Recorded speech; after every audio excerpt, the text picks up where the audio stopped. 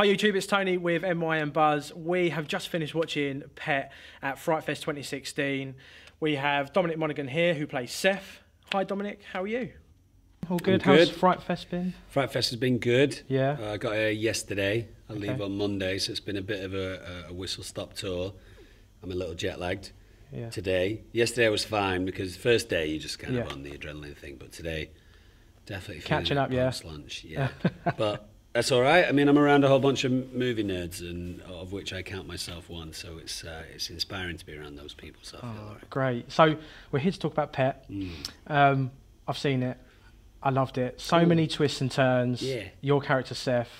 What an what an emotional roller coaster he put me through, as Yeah. well as obviously Ksenia as well, um, who plays Holly. The first thing that kind of struck me was, with your character, was the voice. Right. It was like like you're talking to me now, and I've kind of like you've still kind of got that kind of twang that Seth had. Right. But did you do any kind of voice preparation for the role? I think my voice moves around quite Yeah. a lot, you know.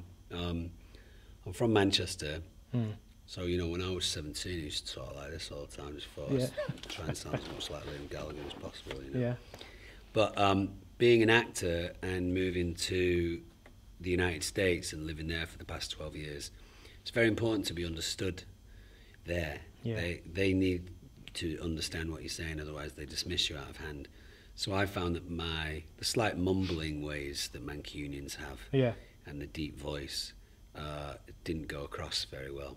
So I found myself talking a little bit more like this. Oh, slowly, clearly. Yes, and enunciating everything. Oh, okay. And the thing about Seth that I found really interesting that we that we hit upon quite early was that he's interested in the minutiae, Seth. He's interested in the little things. You know, mm. that's why you have those shots of the blood with the cereal bowl Yeah. and him looking very intently online and, you know, the, the stalking, the following, you know, he he picks up on things very quickly. So because of that, I wanted him to talk with a lot of intention, Yeah. you know. Okay. So that's why Seth kind of has this thing where he talks like that, you know? He kind of stops in between his sentences. That really creeped me out. Yeah, That's cool. Thank but you. There's a rhythm to that. Yeah. So it was a character choice, you know? Also, you know, you, obviously I don't want to give too much away to the people that are watching this Yeah. with the movie, but there is a sense that Seth feels that he's giving Ksenia's character, Holly, a lecture. You know, Yeah. he's teaching her something. Yeah. And a lot of times when you're listening to a teacher, you know, they don't throw away their words. You know, he thinks that what he's saying is very important. So it's like, you need to listen to me. You know, Yeah. that type of Yeah. thing is, is a character. So yeah, man, it was fun. Ah, so, the, what was your kind of first reaction after you read the script? Like you've read, you've sat there, you've read that script. What was your what was your emotions? What was you feeling? At, I read it a long time ago, probably Yeah? 2003, something Wow. like that, when when it was first offered to me, and, and we were supposed to do it back then, and it didn't work out, and then it kept coming backwards and forwards. Um, as is the case with any great script that you read, uh, you just want to be in it. You know, Yeah. I just wanted to be in it. There's no other part in it that I could play apart from Seth. Seth, yeah. And uh, Jeremy Slater, who wrote it, told me that he, he wrote the character based on my character in Lost, which at first I didn't believe, but then the more I became friendly with him, the more I realised it was true. And why, Yeah. would, he, why would he make that up anyway? you know? Yeah. so, so um, I just wanted to do it. You know, I immediately called my agent and said, "How do we do this?" And uh, we tried to get it done in a few different ways, and it just didn't quite work out until last year. So Yeah. I've been associated with this film for what eight, nine years now, something. wow, like that, and then it just comes to fruition to get it. Yeah, you don't read a lot of great scripts, and also in the position that I'm in, excuse me, um, you know, a lot of times, if I've read a script, it means that 15 people have read it before me and said no. So you think, well, why would I do it if all these Yeah. people that I like, my peers, Hmm. who are in more exalted positions that I'm in, have said no?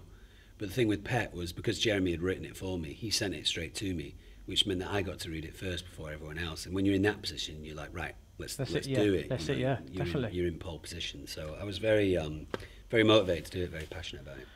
With so many twists and turns in in the, in the film, um, was any of the twists and turns held back from you, like as you were filming, or did you know all the twists and turns that w- that were coming to Seth? Yeah, no, I knew him because I'd read the script, obviously, and then we, we had gone out and looked for Ksenia. Um, so I had I had gone backwards and forwards with the script and bro- broken it down a lot. Yeah. Obviously, reading it for the first time, I didn't know, and we had three screenings yesterday, and I came in a couple of times in the screenings and kind of stood behind the barrier there and um, watch the audience, didn't watch Yeah. the screen, I watched the audience to see how they would react to some of those moments Yeah. because that's when you know if you've got an audience or not is when when it you know reveals Yeah. something like that. Mm. You you want that moment for people You're to like, be oh, wow, you know, yeah. whispering something to their friend or like, oh shit, I had no idea.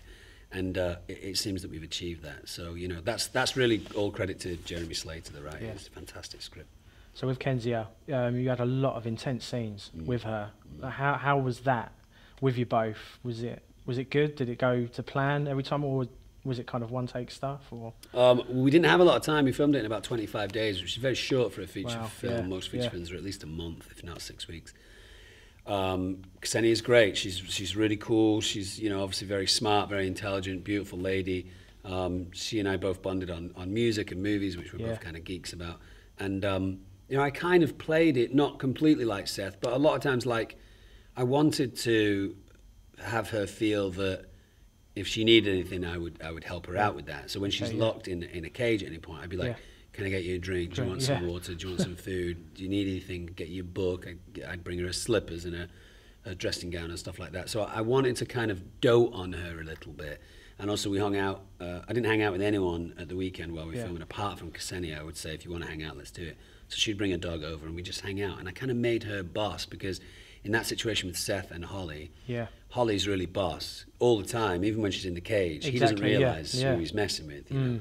So I wanted to play around with the with the real life elements of that, and it's it's very easy to be enamored with Ksenia because she's smart and beautiful. was she really bossy then? Was she well when you gave when you gave her that kind of like you know bit of rope to be a bit bossy? Did she take it up on that? Did No, she? not really. Or she's still just really nice. Yeah, no, she's very sweet. She didn't she didn't she wasn't demanding in any way, and I, I feel like she she was almost kind of a mirror for the way that I acted. I I, like to. I like to do a very minimal amount of rehearsals and put most of it on camera. Yeah. So my take one is usually that I ju- that I just know my lines. Yeah. Just I'm still Yeah. reaching for it. And then for me, I've always felt that the, the, the magic, the, the takes that I like the most is Yeah. probably take two or take three, and then I'm done. I don't want to do any more No, that, you know. Move on. I've kind of done it. And Ksenia was the same. She was like, let's just smash it, you know, like take one, let's let's see if we can find it. Hmm. And by the time we get to take two or three, let's let's have it done because we didn't have a, a huge amount of time. So we came prepared. We were full on with each other. I mean, we kind of, you know, there was some violent scenes, some crazy scenes. Yeah. she's a tiny girl, Ksenia. She's only five foot, if that. Wow. And I just said, you know, let me know if I'm hurting you or, or if everything's okay. And she was like, ah, just do it. You know, we'll I'll deal with the bruises later. So That's she's tough. So how much did you explore your character itself beforehand? So you obviously read the script. How much did you kind of do outside of you know you learnt about your character and Mm. explored him? Yeah, I looked after a few of my friends' dogs for Yeah. weekends because obviously he's a he's a it dog dog fan. parent? Yeah. So I, I I definitely explored that relationship, and then without wanting to get too creepy, um, I am kind of a, a serial killer expert. You know, I like ser- I don't like serial killers that came out. I'm interested, Yeah, in the psychosis of a serial Yeah. killer.